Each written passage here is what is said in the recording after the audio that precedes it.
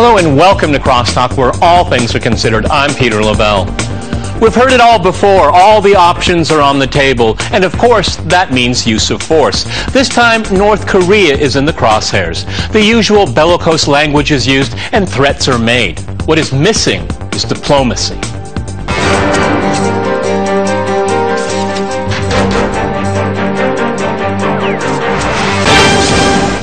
Cross-talking North Korea, I'm joined by my guest James Bradley in New York. He is a New York Times number one best-selling author. His latest book is The China Mirage. In London, we have Ken O'Keefe. He is a political analyst and ex-U.S. Marine who renounced U.S. citizenship. And here in Moscow, we cross to Mohammad Marandi. He is an associate professor at the University of Tehran. All right, gentlemen, crosstalk rules in effect. That means you can jump in anytime you want, and I always appreciate it. James, let me go to you first in New York.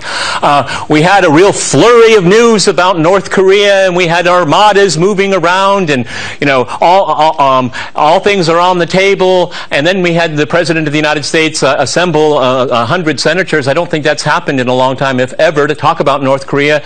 And then there was a little bit of a whimper here. What's going on here? I mean, is this for domestic consumption here? Because it's about on an annual basis, the whole North Korean thing flares up, and everybody you know throws up their arms. Nothing can be done. Uh, conflict is inevitable, which of course it's not inevitable. Go ahead, James.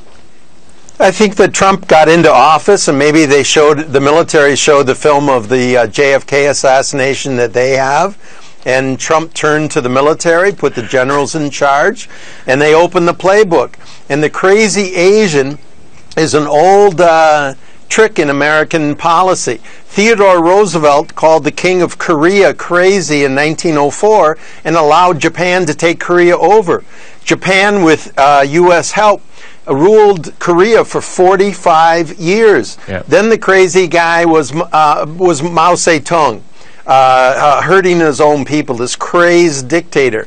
So the, the crazy Asian um, motif works well in America. You know, Ken, you know, the thing is, is that you can say a lot about the, the Korean leader, um, but I wouldn't say he's crazy. As a matter of fact, I think he's actually quite rational because the most important thing for the regime in North Korea is survival. Why would they risk everything?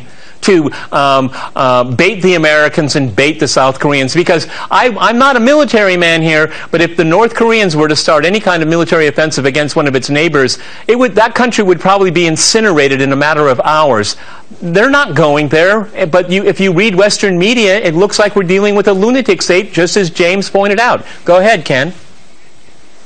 Well, I, I, really believe this is more smoke and mirrors than anything else, and I think the timing couldn't be more uh, obvious.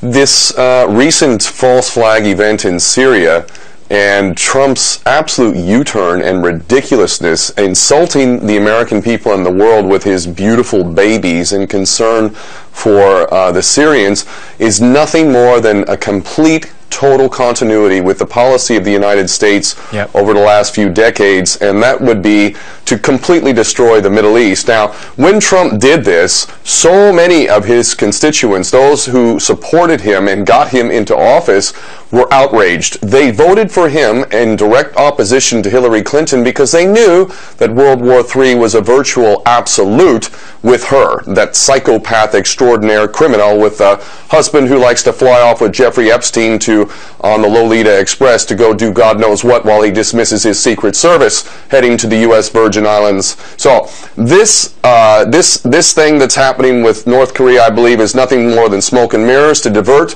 from the real policies which are going to be continued because Donald Trump is owned by the very same interests that own the U.S. Congress, and the policies are to continue to destroy the Middle East. Right. I do believe that they're going to head into Syria and go ahead and bring in U.S. troops, and a lot of those U.S. troops who saw what happened with Syria in the last couple of weeks came out and made some amazing YouTube videos and said, what the hell are you doing, Yeah. Donald Trump? So for me, and, and aside from that, the United States never fights anybody who can fight back. True. We're cowards. We don't pick on people who can fight back. You know, Mohammed, it's very interesting. There's a lot of real dots to connect here, not like in Western media where it's fake dots and fake news, okay? But you have Donald Trump sitting next to the Chinese leader, uh, eating chocolate cake, apparently, and he orders uh, the, this uh, attack on Syria with no evidence whatsoever, at least not presented to the public. And a lot of members of the intelligence community that are former uh, members of uh, um, the CIA and other agencies have written quite publicly that this is a false flag. And then, you know, you, you do this in front of the Chinese leader, then you start this um, bluster with North Korea. But I think, you know, my last dot to connect to all of this, I think this is the whole Korea story is actually the story about the country you come from, Iran. Well, I, I agree that um, uh, there's there, there are a lot of smoke and mirrors involved here.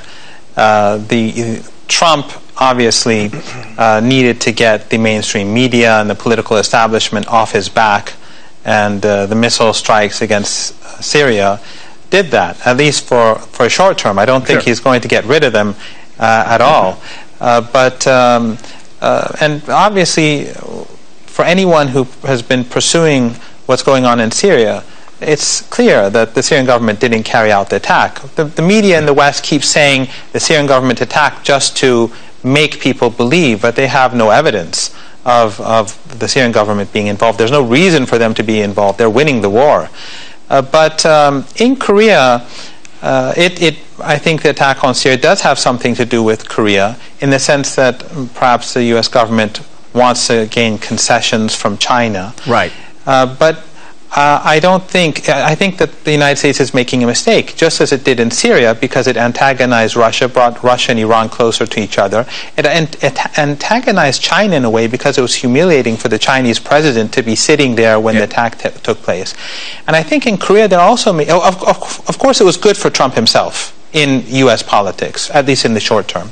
It made him look strong and presidential, you know, killing people. That's how it is in the United States. But uh, in Korea, I think uh, this is another mistake because at the end of the day, either the United States has to attack Korea, right? And if it does, it will be they'll pay a heavy price. This is not Iraq that's been under sanc- that was under sanctions for a decade.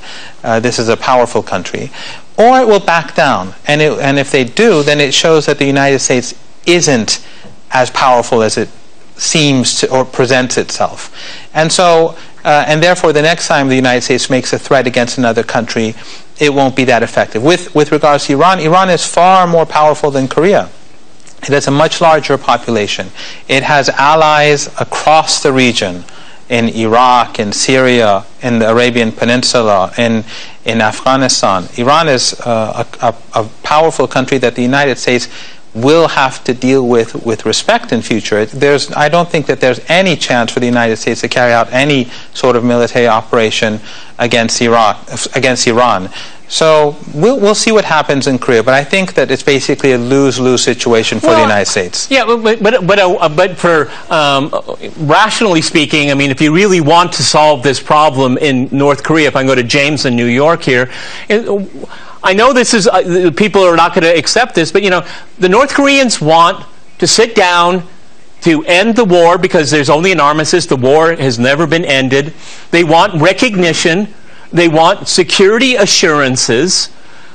And they want it from the United States and they would like to see 23,500 American troops leave the peninsula. That is destabilizing for the peninsula. Not, it doesn't give it stability. It, it, uh, it, it, continues this military element. And why do we have to have, on a yearly basis, these massive military maneuvers that threaten the country of North Korea? I mean, sit down and talk. But no, there are always preconditions. That's why this problem persists. Go ahead, James.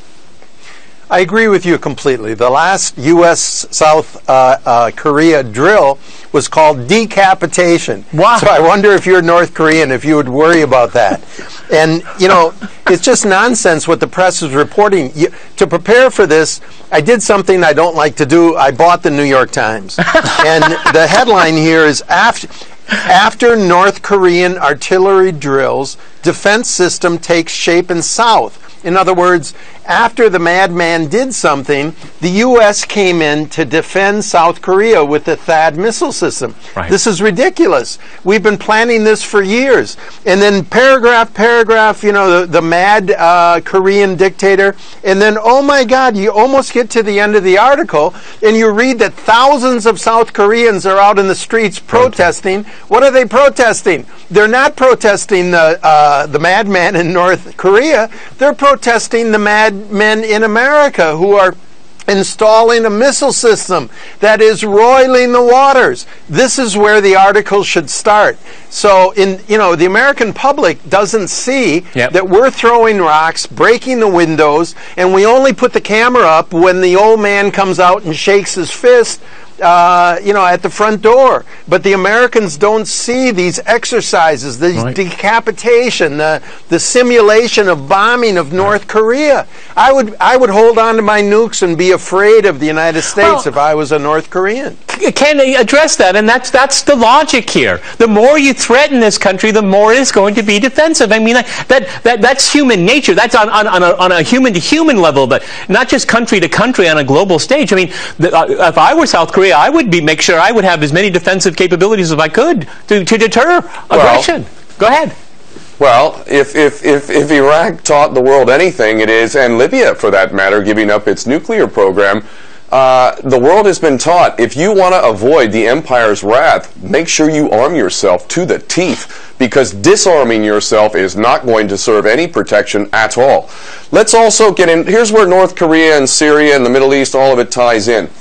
There is a very big misunderstanding amongst the people of the world who don't have psychopathic, sociopathic uh, qualities. See, for those of us who have any level of humanity, we don't want war. But there's a big problem. Those who are in charge actually have a major incentive to have war. Now, the bankers who run the world, literally by having an infinite supply of money, while us dupes allow ourselves to pay interest. interest when we could print that money ourselves, and let's get to JFK, who was going to end that by issuing United States notes as opposed to Federal Reserve notes, Ken, which of course is a private bank. Ken, let me jump in here. We're going to go to a short break, and after that short break, we'll continue our discussion on North Korea and other issues. Stay with RT.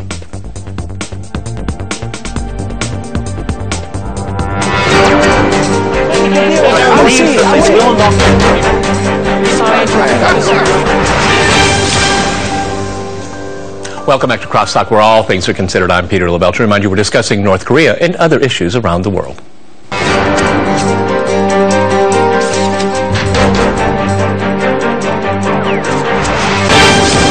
Okay, let me go back to Ken here. Two things about crosstalk that people complain about. I have to go to a hard break in the middle, and it's too short. So I cut you off in the first half. Please continue, my friend.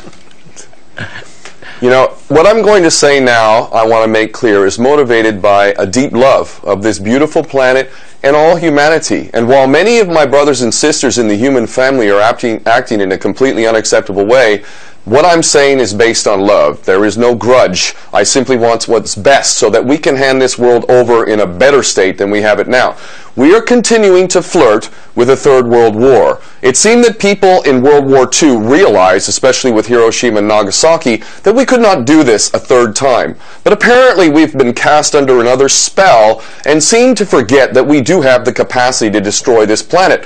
Now, those of us who have any kind of sanity and humanity realize the dangers of this, but those who are running the world through the control of finance have a major incentive to incite war because more important than the money that they control is the most important parameter of a tyrannical system, a tiny minority ruling over the masses. And that principle is you will never be able to rule people if you cannot divide them. So you must divide them. What divides people more than anything else? War, mass murder, horrendous crimes, torture. Things like that are good in the view of a banker. So the bankers have a major incentive just as a carte blanche reality of where they are. But right now they have an extra added incentive and that incentive is that the consciousness of humanity is rising Amazing. and many of the key principles of the tyra- tyrannical system we're dealing with are being exposed exposed. And there's an elephant in the room that I'm going to get into after the other guests talk because it's an important elephant that we seem to be ignoring. But the major point that I want to make right now is that those who are in charge of this world have a major incentive to instigate a third world war. And this is where it, I would disagree with my brother Mohammed there in, in Russia if you think that logic and rational behavior and sense is the guide. Because attacking North Korea would be catastrophic, of course. And I used to live in Hawaii.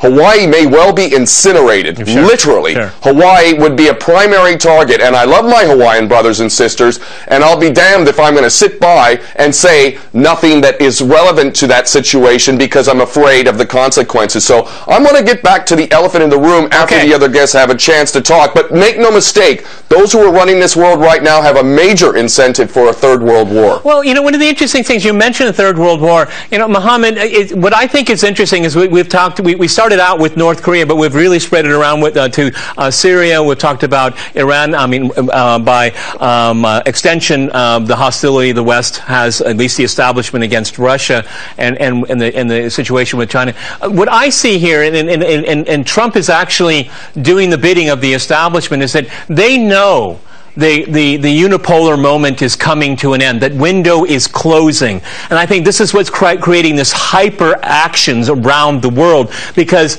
that the, the ability of the United States to call all the shots all everywhere all the time is getting thinner and thinner. And I think this is what's getting the establishment worried. And, and that's what, uh, you know, what we have now is we have bluster and threats instead of a coherent, rational foreign policy. And you know what? It sells well with the media. Okay, go ahead, Mohammed.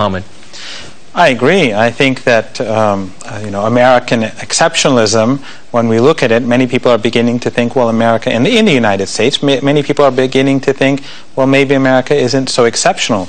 That's why Trump became so popular when among many people when he said, "Make America Great Again." So it's it's it's very painful, I think, for sure. the political establishment in the United States this seeing this decline, sort of like similar to the Suez moment for uh, the British Empire earlier on in the in the 20th century. Um, and I agree that the, the the political regime in the United States is not rational. It's very much influenced by money, and that's one reason why Trump gave so much extra money to the military because the military wants more money, and in order in order to make more money, there has to be more conflict. So that is a, a major risk. There are two things that though I'd like to uh, point out though here. One is that, uh, in my opinion, this whole uh, North Korea issue is uh, and THAAD is more linked to China than Yep. it is to North Yep. Korea. Yep. And the United States is basically trying to Yep. contain China through this excuse. Uh, just like when the United States was making a big issue about Iran, Iran's missile defense capability, it was more directly linked to Russia in reality. So they set up this missile defense system In Eastern in, Europe. in, in Europe in, uh, in the name of Iran, whereas uh, it was really for Russia.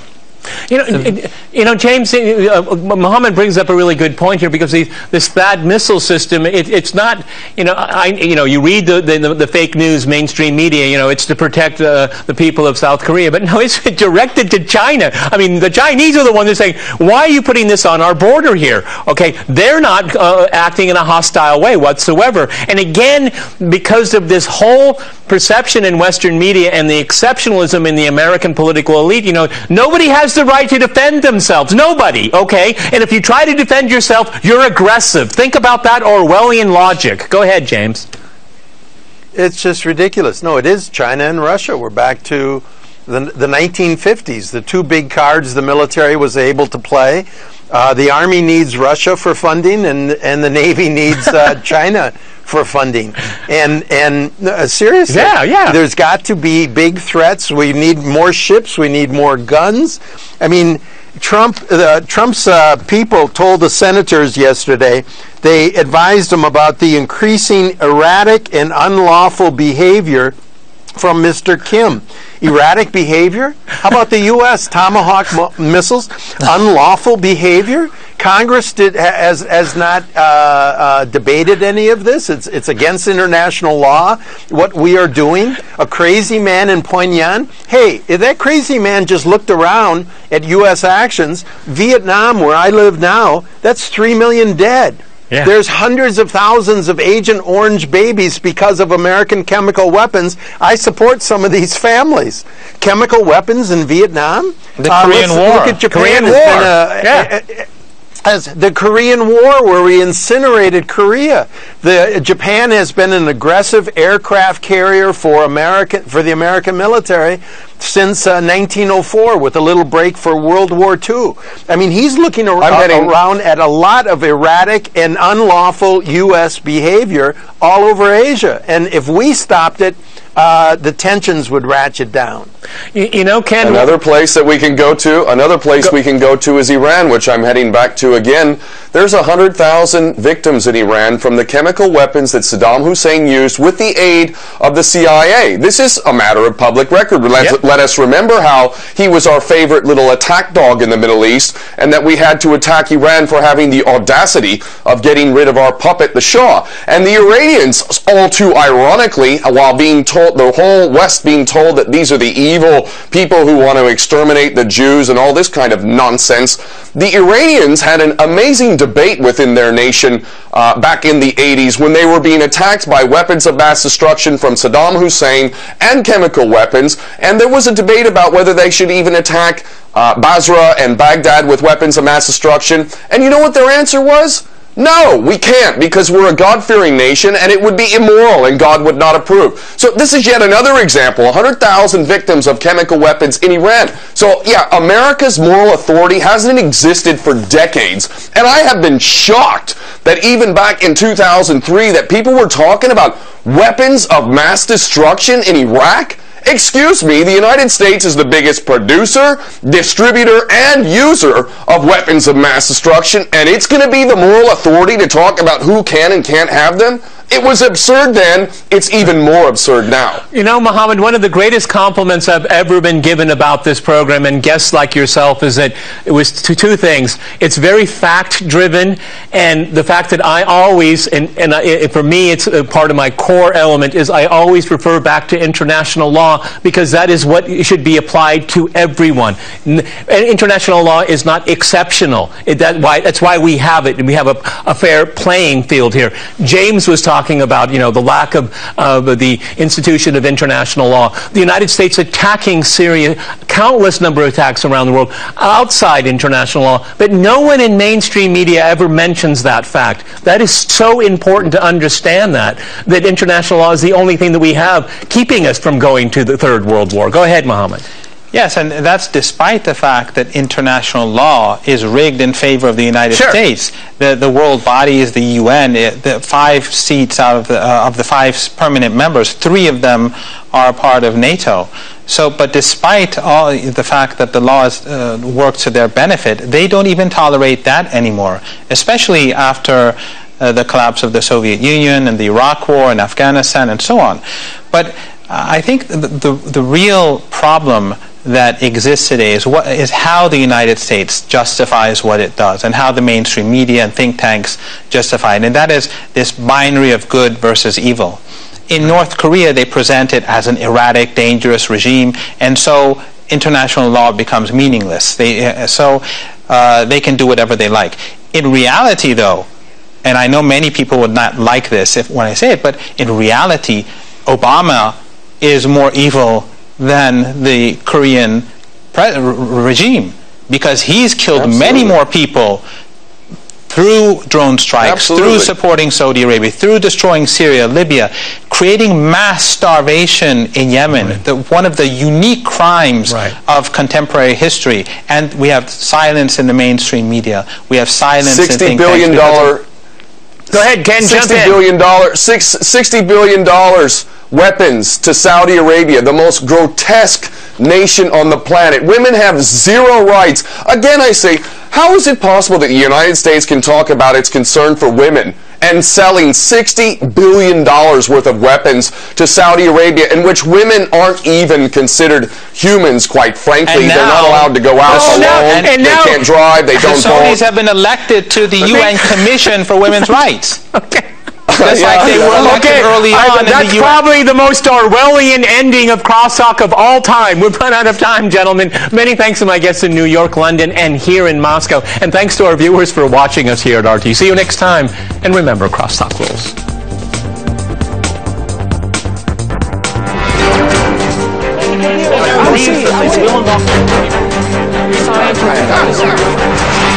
I love